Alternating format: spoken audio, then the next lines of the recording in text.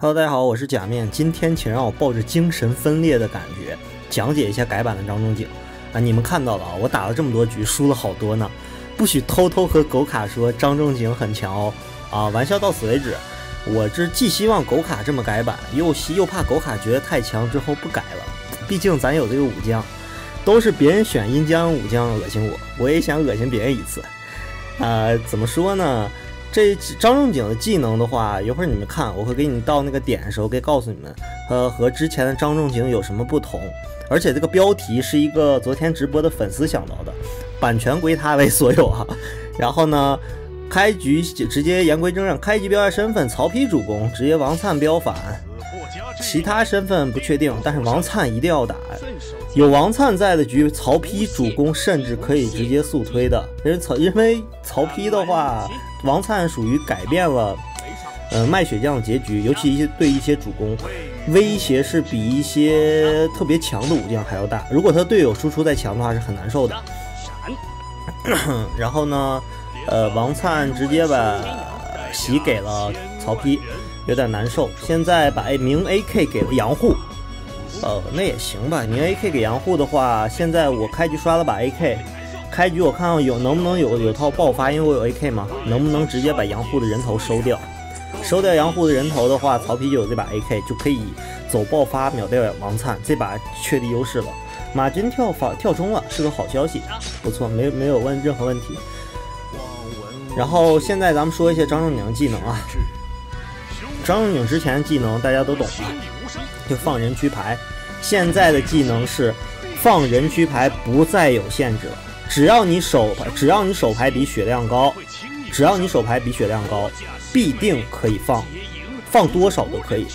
就是说怎么说呢？就比如说你神曹操啊，你打被别人打了一堆了啊，你手上有七八十呃三十多张牌了，到你回合你一血就只有一张牌，不再有限制了啊。这可能对于一些人不太理解吧，但是这个就是限制一堆阴间武将，这个武将技能。然后呢，这个昔日才也跳反了。神甘宁为啥不给被乐的曹丕呢？然后呢，最大最我最喜欢那个改版是什么呢？就是之前，呃，之前这个他那个疗愈，之前疗愈是还有一个还有个特效是，呃，给自己的手给自己队友补牌，但是队友的血量必须大于手牌。才能补多少多少张牌，现在呢就不一样了，现在就不一样了。现在是什么情况？现在就是说我可以选择给队友的话，队友不管手牌是多少，血量是多少，我就直接能给牌。我的人区只要离开了牌，就像现在马军，我的我的人区只要离开我离开我的人区了，我摸一张，马军摸一张，就是给队友免费的英姿，我自己再多一张牌，很不错。呃，这就代表什么？就以后这个第一个疗愈这个正面正面的效果没有限制了，你的辅助能力大大的加强，真的很棒。也就是说，你的辅助现在又有恶心的程度限制，又有强限制能力，又有恶心的能力。就是说，徐荣跳内了，直接开始杀马军了。啊，怎么说呢？咱们回到刚才的话题，我也是命衰，每次喜欢或者推荐的武将，不是被通渠就是被修改。给大家以前推荐过，大家粉丝都应该知道，就推荐那些奇怪、比较平民化的武将，比较好用的。被狗卡通渠的，你们懂的，我就不想说了。然后呢，我也是服了。这次呢，大家都悄悄的，视频给个赞就行，呃，别投币了，别让更多人看见，我怕哪天别人看见之后要出事儿。这时候注意一下排序啊，排序的话先九杀。有人救细日财的话，看细日财的花色，明花色确定了之后，有一张未知的，有一张没有的梅花就不火攻他了。如果有两张都是一样的，我有的花花色的话，我就会去火攻细日财。这个时候的话，直接再用拆把王灿的手牌拆掉。这时候给王粲，这时候注意啊，我并不是不希望我有盾，我的目的是防止队友不不清楚我给了王粲什么牌，我把身上明装备给了王粲，让曹丕知道他能杀死王粲，王粲没有明牌，没有暗牌了，一定不是闪。然后这个时候其实他已经有 AK，杨护的 AK 是明牌的，可以杀死昔日才的，他结昔日才两张也是名牌，结果对曹丕不杀了。注意这里啊，之前的技能是现在之前技能的话，马金我是不能给他牌的。现在的话，马军手牌超过自己手血，超过自己血量，我依旧可以给他牌。但是唯一和之前不同的就是说，以前是能给，如果你血量超过很多的话，能给好几张人去牌。现在的话，只能不管你血量超过很多，呃，不管是如何，呃，只能给一张。但是这已经够了，对于一些奇奇怪怪的人，呃，比如说你相当于什么情况？我来给你打个比方，假设你张仲景是个反贼啊，你反贼的话，你人区离开自己要留一张，要过一张牌，给马军让选一张牌。反贼如果是三个的话，每回合就是六张牌的牌差，你自己想一想，这个辅助能力有多强？但是它不是没有缺点，它的缺点还是那样，怕爆发将，不讲道理的把你秒掉，这是最大的一个缺点。但是比之前的张仲景，我之前说过，张仲景之前不值八十八宝石，现在值，很值。因为以前别人跟我说过，新沙叫什么来？新沙有个叫曹金玉，什么每回合能过成八十多张牌，我也不清楚怎么怎么形形形容的，八十多张牌。呃，怎么说呢？嗯，有了张仲景这种武将的话，你过上一百张牌，你回合内的血量是多少？你就算是过上一千张，你也跟着你，然后把那一堆牌全放掉，你血量剩一滴，也只能留一张牌。这就是专门克制那些傻逼阴间武将的。然后呢？这时候的话，神甘宁甚至现在不配备乐了。现在神甘宁够强吧？现在他血量，他的手牌，我告诉你，之前最多只能放四张。现在对不起，神甘宁不配备乐。我我当时在直播的时候说，马军其实直接杀杨杀那个徐荣就行了，内奸徐荣跳内徐荣。神甘宁多少张牌，最后只能留一张牌。你觉得他一张牌的神甘宁再摸三张牌，对你的威胁很大吗？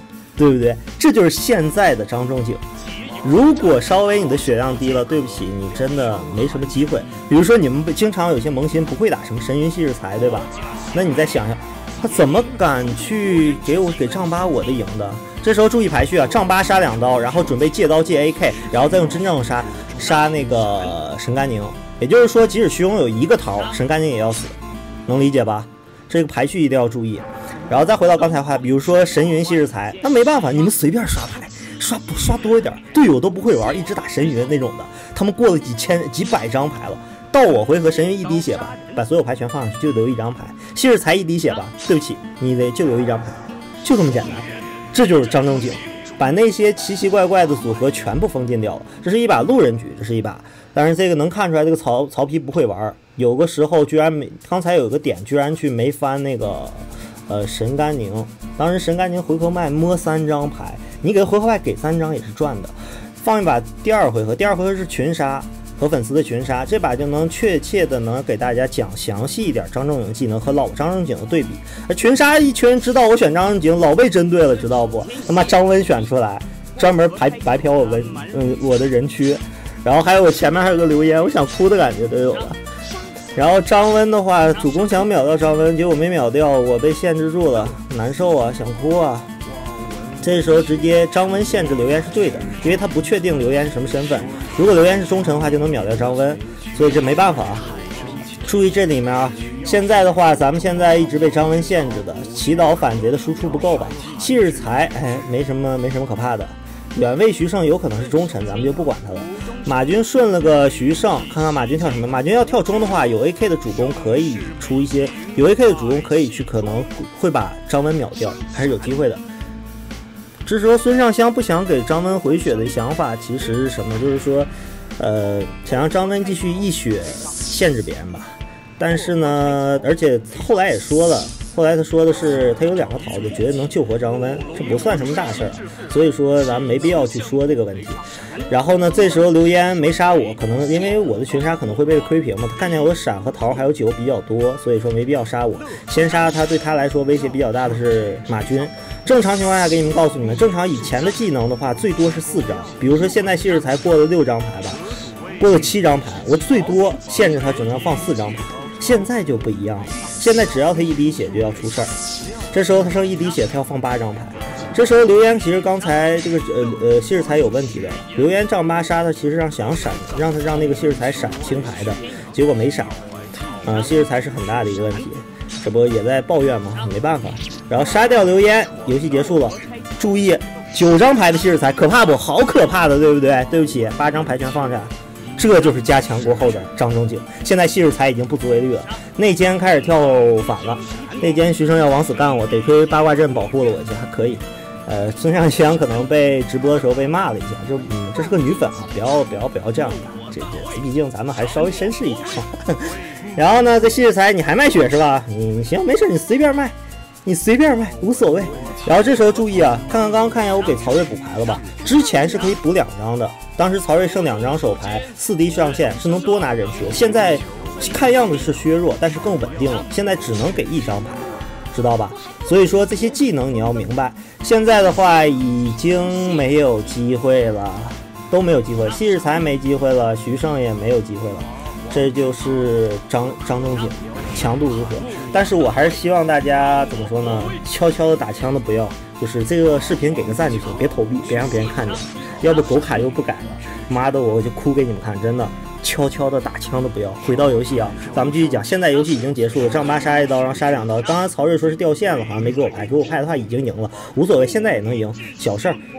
因为希日才怎么去打呀？他谁也打不过。现在希日才游戏结束了已经。现在的话，多余操作了，其实直接给我杀一刀，谢谢猜名牌杀一刀，游戏结束。